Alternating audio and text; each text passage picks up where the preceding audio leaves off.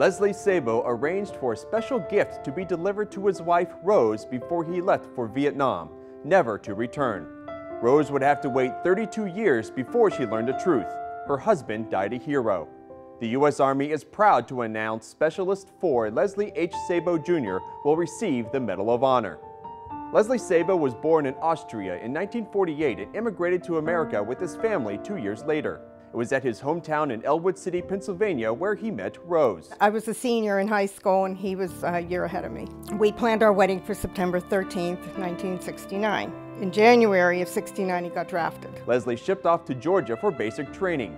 When their original wedding date approached, they let him come home the weekend of our wedding and he had to go back that next day. Leslie was assigned to the 101st Airborne Division and was told he was going to Vietnam. And we had 30 days together, and then uh, he left in November.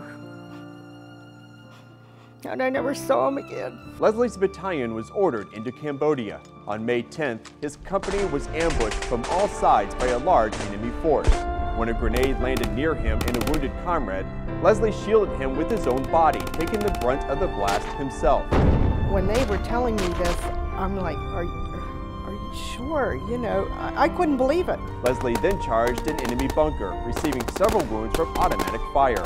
Mortally injured, he crawled toward the enemy emplacement and threw a grenade, silencing the guns, but also ending his own life. I, I never stopped loving him. I, it, sometimes it feels like yesterday I lost him. You never forget, you never forget that feeling.